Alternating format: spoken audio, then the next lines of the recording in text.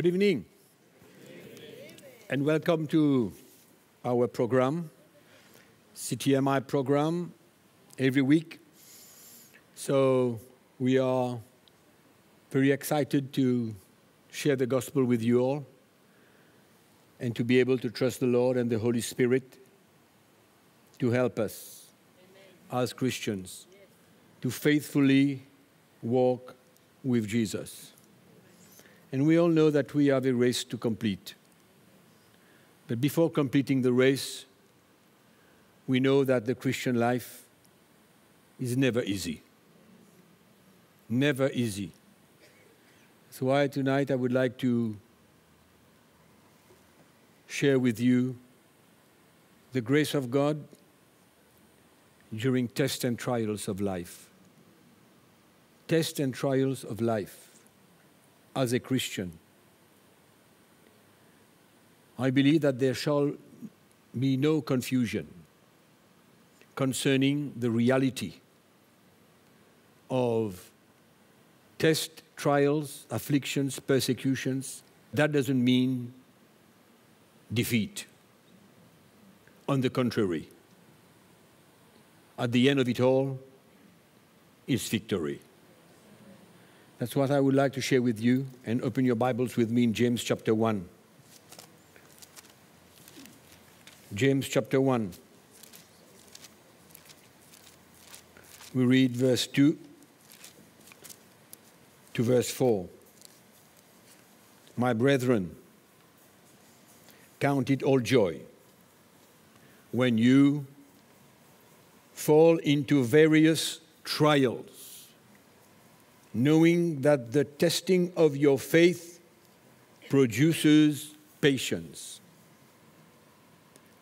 But let patience have its perfect work, that you may be perfect and complete, lacking nothing. Amen? Is that quite clear?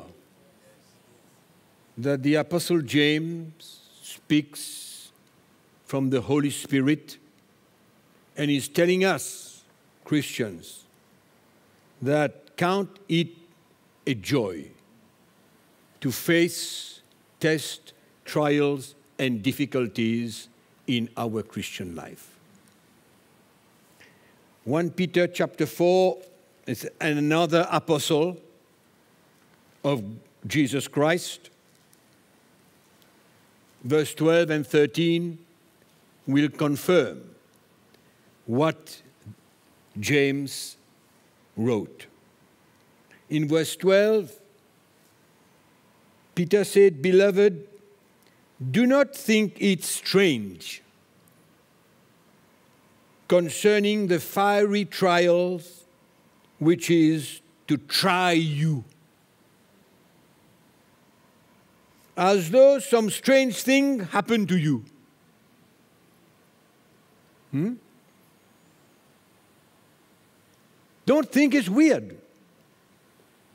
It's unnatural, ungodly that we face trials and difficulties in our Christian life. Peter said, Don't find it strange. James says, Count it all joy when you face trials, difficulties, persecution, affliction, sufferings. Hmm? Because there is a purpose. And so many Christians are still arguing today about is it the will of God for Christians to face difficult times?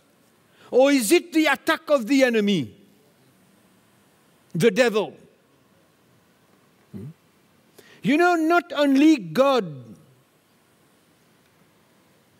allows things to happen, but many times He ordains them in our lives. He ordains them. God is in control of our lives. If we want to serve Him, and if we take our cross and follow Him, They are no coincidence. The enemy can come with all his arrows, his plans, but when we serve Jesus with all our hearts, he is a defeated foe. The Apostle John, another apostle of God, says that the enemy cannot even touch you. hey? And we are, the church is so much concerned about the devil that anything that happened to Christians, it's the devil. It's the enemy. Yes, we know he's like a roaring lion trying to destroy us. Yeah, he's like, he's trying. he will succeed in the lives of Christians that do not want to give their lives to Jesus, to take up their cross and follow Him. Yes, he can succeed that way. But he won't succeed when Christians take up their cross, run that race, and follow Jesus. And do not find it strange. Count it all joy Peter the apostle continues, but rejoice. You are in fire. rejoice. That's what he's saying. He's talking about fiery trial. He's not talking about having a headache. No. He's talking about difficult time where you can think that you are losing it in the natural. You're losing ground.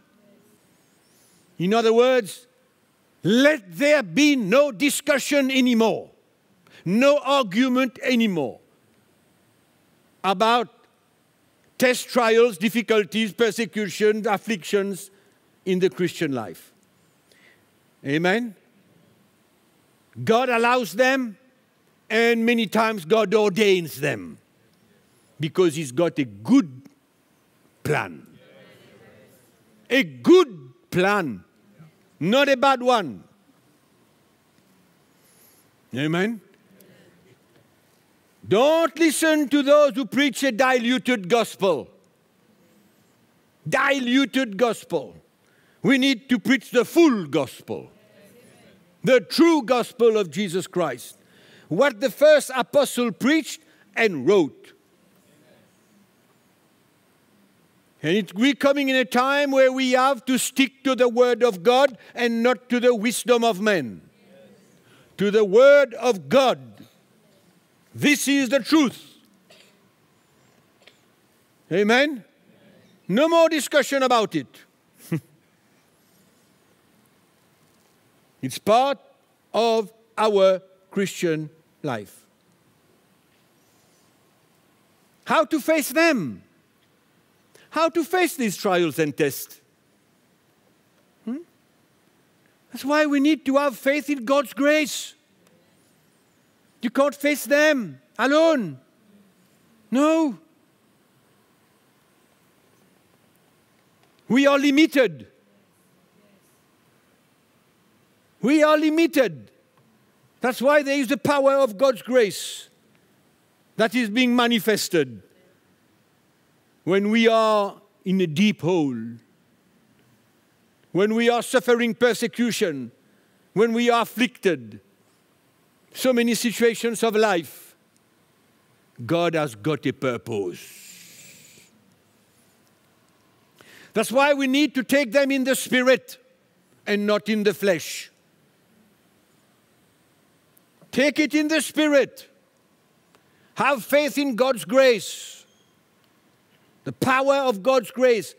You remember that supernatural power, strength that God gives us to face that difficult time, whatever we go through, each one of us here, different situations of life. That's why the Apostle James talks about patience. Patience. When you go through fire, when you go through difficult times and persecutions, You go through them and you don't see the light. When is it going to stop? When am I going to be delivered? When things are going to change? Hmm? So if you have faith in God's grace, you'll be patient. You'll continue to stand and believe God, and you will feel the grace of God every day to allow you to stand, to continue. And at the same time, you will feel the Holy Spirit working, working in you. Christians today don't like to be seen as failures. They don't like to be seen as people who can go through hardships. Because there's all sorts of theories and teachings that Christians always need. Wonderful time. We are above everything. Above everything. Special people. Yes, we are special people. Yes, we are. But we must understand how. In which way? Hmm? All things work together for good to those that love God. All things work together. They work together for good. For good. If God allows it, if God ordains it, it's for our good. It's not to crush us down. That's why there is the power of grace. Amen. When the Apostle Paul went through his situation in the book of Corinthians, a thorn in the flesh, mm-hmm. he, he cried to the Lord three times Set me free, deliver me. And what did the Lord tell him? No, my son, my grace is sufficient for you my grace, my power, my strength will be able to hold you and allow you to continue to serve me no matter if you take if you continue to have this thorn in the flesh you will continue to serve me because my hand is upon your life. I will protect you and i will make you able to do what i want you to do. I'll make you able to do it. Amen did you see what the Apostle Paul says after that? He says, I glory in my sufferings. I glory in my afflictions. That's what he says.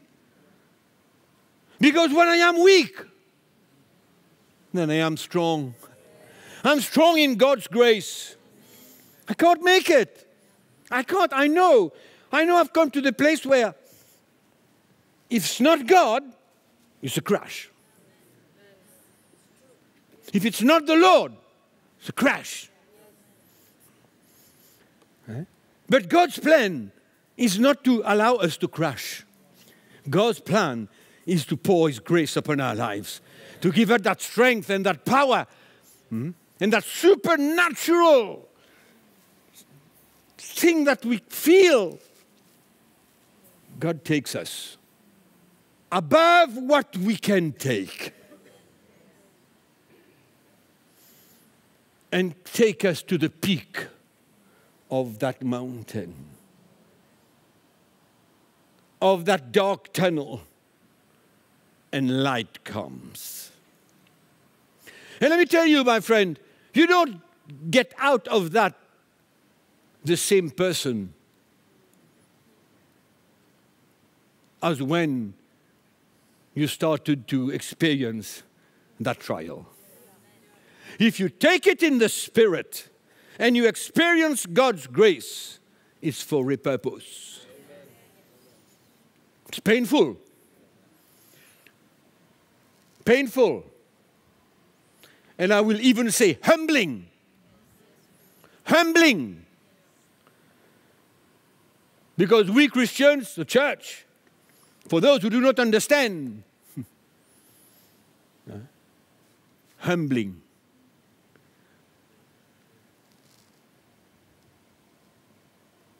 Painful,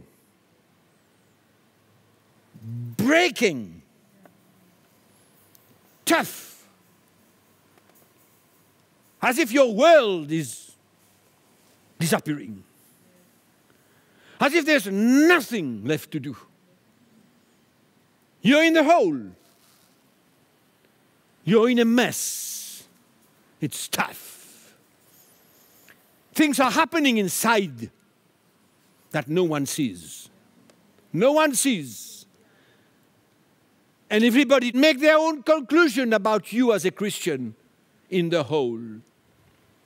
You're not in the hole because you have sinned. You're not in the hole because the devil is crushing you. You're in the hole because God wants you to be there so that He can work in you.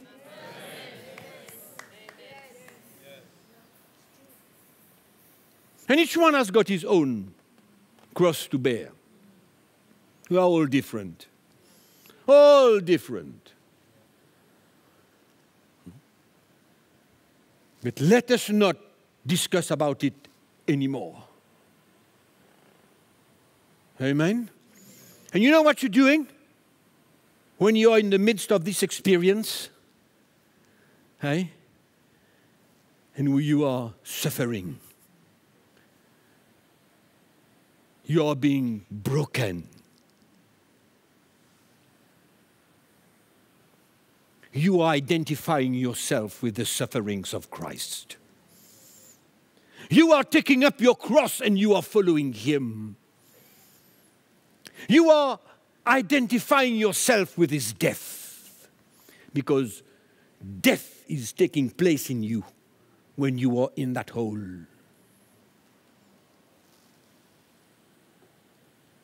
Yeah? And God's grace can keep you there for a week or for a month or for one day. Who knows? Hey? Who knows? He can keep us there. That's why James says, be patient. Experience his grace.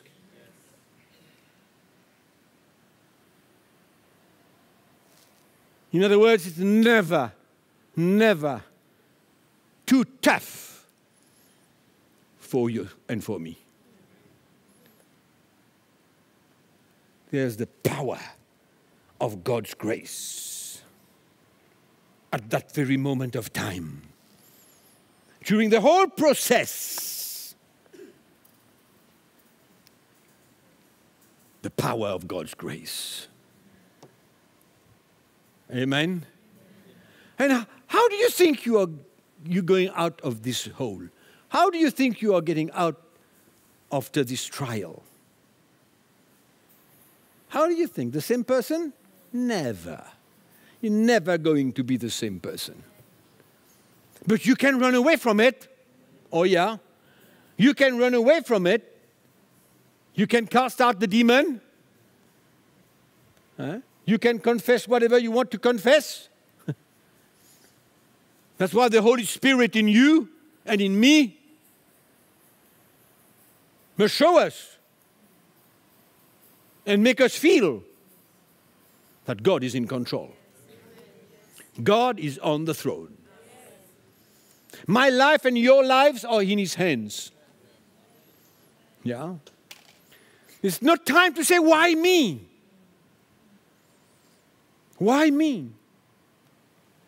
Great, great men of God have gone through tough, tough times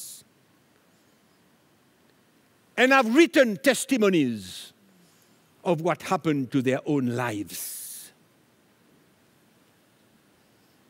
That stays as a testimony of the power of God's grace during that moment of time.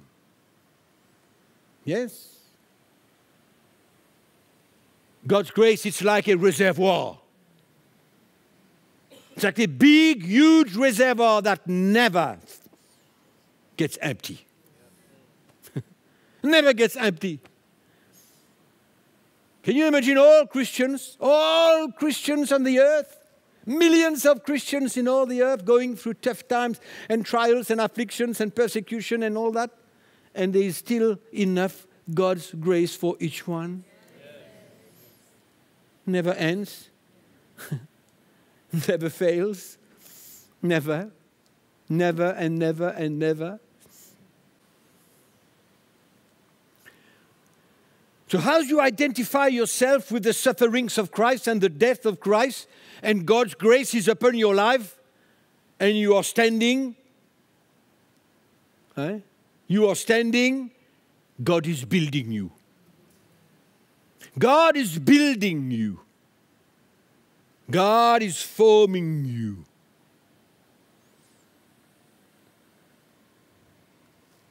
The Bible talks about being built being formed to the image of his son. Amen. And what's the fruit of it all? The fruit of all that. Right? It's life. It's abundant life. It's resurrection life. Amen. So we come to the point where when we, that grace is being manifested upon our lives and allows us to stay there, stay there, stay there, be patient. Eh? And let God work, and let God work, and let God deal with that issue that He needs to deal with in your life. Remember what you're doing here. You're taking up your cross. You understand? You are identifying yourself with the sufferings of Christ and with the death of Jesus Christ. Amen. And what comes after death is resurrection. Resurrection life. That's what comes after death. Amen. So each time we are in fire, each time we everything is breaking loose. We are no more under control. Always remember resurrection life. Always remember life. Amen. So, in other words, you're becoming a more spiritual person as God's grace, as the power of God's grace keeps you, keeps you, keeps you until the day of deliverance. Amen. Amen. So, in other words, you've come from that place to that place. Amen. You've grown. Amen. You are more and more in the image of His Son, Jesus. And you are obeying God's word. When Jesus said, If anyone wants to follow me, let him deny himself, take up his cross, and follow me. Now, you can't take out the suffering out of the cross. You can't take out death out of the cross. You can't take out resurrection life out of the cross. It's a package suffering, death, resurrection. Amen? So, as you are in the midst of that trial, your faith is being tried. The trial of your faith. Who do you believe in? What do you believe? Where is your trust? Where is your faith? Amen. What's the revelation of grace do you have in that hole? Amen. One day goes, Thank you, Lord. Your grace was with me. Thank you. The next day, same thing. It's not eternal. No. There is a day of resurrection. There is a day when Jesus Christ rose from the dead. And there is a day when you and I, we can experience resurrection life. The, the, whatever God does with us, it's for our good. And Christians need to understand that once and for all. Don't feel that you are an exception when you are in fire. It's normal. Normal. Amen. Count it all joy. James says. Peter says, rejoice. right? Paul says, give thanks to the Lord in all things. Good times and bad times. Amen. He's a God of the good times, He's a God of the bad times. He's the same God. He hasn't changed. We are, not, we are not designed to have only good times because then we will remain carnal. We will walk in the flesh. Nothing will happen to us. We'll be a Christian, a baby Christian, all our lives. All our lives. And we'll know what we do? We confess the word. That's all we do. We confess the positive words. Eh? We come into positive confession. All sorts of stuff. I close up. Ephesians chapter 6, verse 10. What does Paul says? Strengthen yourself in the Lord and in the power of his might so that you can face the evil day. Amen? Amen? So let us understand the power of God's grace in the midst of trials, temptations, whatever comes our way. Why? Because we are a people of victory. Amen. Amen. Amen. God bless you, and we'll see you next time.